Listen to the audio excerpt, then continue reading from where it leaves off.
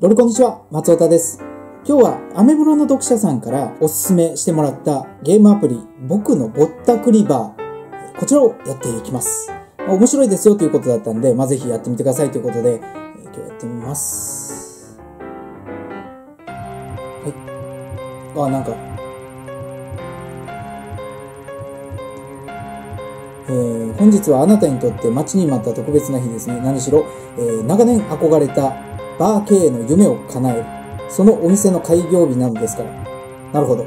あなたが私に出会えたのは本当にラッキーでしたね。お店の改装はもちろん全ての準備は私が済ませておきました。少しばかり足りない費用はありましたが、これから少しずつ返していけいただければ結構です。さあ、お店のドアを開けなさい。きっとあなたにも気に入っていただけると思いますよ。なるほど。見るからに怪しいですね。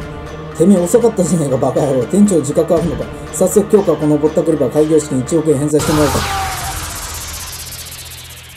あー、なるほど。ぼったくりバーをやる時点でもうなんかぼったくられてる感じですね。なるほど。なるほど、回転してみて、回転。まあそう、借金1億円から始まるわけですね。お客様連れてくるのをお。客様が席に着いたら女の子をドラッグドロップしましょう。あ、できた。えっ、と、注文ボタンを押しましょう。なるほど、なるほど。注文で、商品をタップ。お客さんが来て、えっ、と、女の子をつけて、注文が来ると、注文をしていくと。会計が出たので、会計をして、なるほど。ぼったくりすぎると失敗します。正規価格を参考にちょうどいい金額を入れましょう。所持金は、えー閉店すると増加します。なるほど。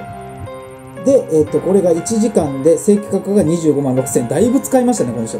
25万6千円にどれだけぼったくれるかということですね。どれくらいいけるんでしょうね。とりあえず、2倍いってみましょうか。よし、そこ。なるほど。なるほど、なるほど。こうやっていくんですね。とりあえず、まあ、50万ぼったくることができました。出てくるキャラクターが、笑うセールスマン的な感じになってますね。来ました。会計です。この人も24万円。さっき2倍でいけたんで、2倍で、50万でいってみます。せーの。ドン。いきました。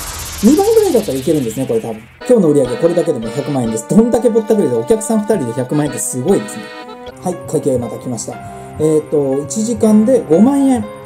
あんまり高くないですね。これも2人で5万円なんで、なんか幅がありすぎますね。とりあえず2倍いきます。10万。あ、いけました。はい、じゃあまあ次の会計ですね。学生 予想職業学生なのに1時間で38万って、こいつも使いすぎですね。38万、2倍ぐらい。だいたい、どれぐらいでしょう ?60 万ぐらいいきますかいや、70。倍近い70いってみましょう。せーの。ああ。これちょろいですね。70万払うこいつもこいつですよね。いきます。はい。これは楽勝ですよね。じゃあ、最後の会計です。この人も1時間6万円なんで、3倍の金額いってみます。ぼったくる。成功です。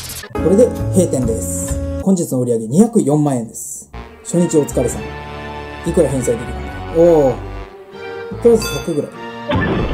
でも本気でやってんのか死ぬ気しないでずっと今日は沈む。これ売り上げ100万、200万でもこれ言われるんですね、これ。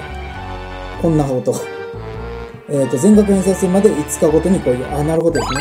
で5日ごと、5日ごとに返済をしていく。で、1億円借金を返済したらクリアということですかね。これ面白いですね。いや、またぜひ、これ続きやってみたいと思います。もし面白いゲーム、おすすめのゲームがあるんだったら教えてください。お待ちしております。それではまた。